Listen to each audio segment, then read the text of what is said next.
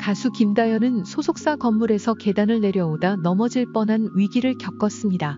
다행히도 경호원들이 신속하게 반응하여 그녀를 구했습니다. 이 사건은 약 50세의 청소 직원이 무거운 물건을 나르던 중 발생했습니다. 이동 중에 그 직원은 물건을 떨어뜨리고 김다연이 계단을 내려오는 바로 앞에서 넘어졌습니다.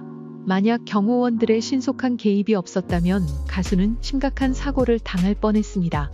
이 사건 이후 소속사는 예술가들의 안전을 보장하기 위해 청소 직원을 해고하기로 결정했습니다. 그러나 김다연은 이 결정을 막았습니다. 두 아이를 혼자 키우고 있는 중년 여성인 청소 직원은 김다연에게 도움을 요청하며 이번 사고가 의도치 않은 사고였다고 설명했습니다. 김다연은 이 여성이 그녀를 위험에 빠뜨리려는 의도가 없었음을 이해했습니다. 그저 불운한 사고였을 뿐이라는 것을 알게 되었습니다. 가수의 동정심과 인간에는 청소 직원이 직장을 유지할 수 있도록 도왔으며 이는 대중들에게 김다연의 따뜻한 마음을 보여주었습니다.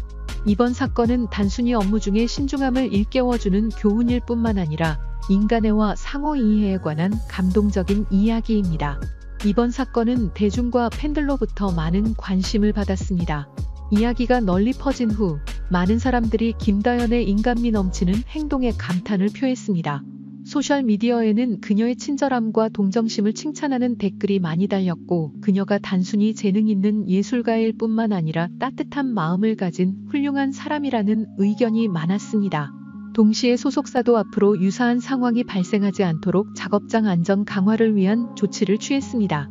이러한 조치에는 직원들의 산업 안전 교육 제실 시 위험 발생 가능 지역에 대한 정기적인 점검 그리고 회사 내 각 개인의 책임 의식 고취 등이 포함되었습니다. 김다연은 청소 직원과 만나서 격려하고 생활의 어려움을 나누는 시간을 가졌습니다.